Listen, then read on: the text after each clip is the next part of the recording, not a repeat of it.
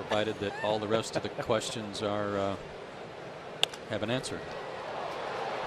Fly ball down the left field line. Mayberry in the corner can't make the play, and that's a fair ball. Michael Bourn around second. He's on his way to third, and he's going to stop there.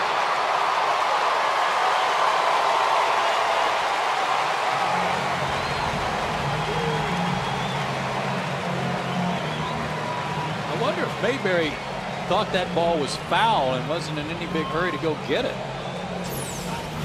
Kind of lost sight of him down there.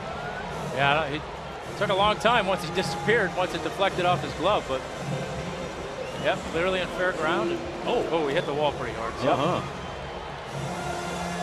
Ouch.